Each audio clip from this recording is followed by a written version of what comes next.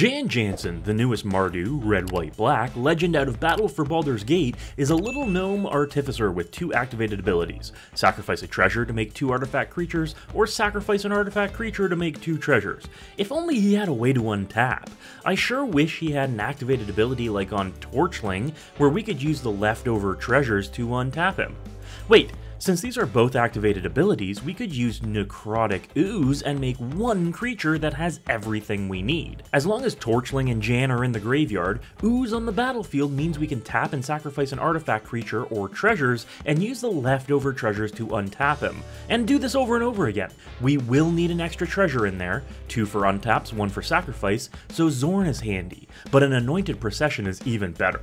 All the tokens. Sounds like a neat little combo for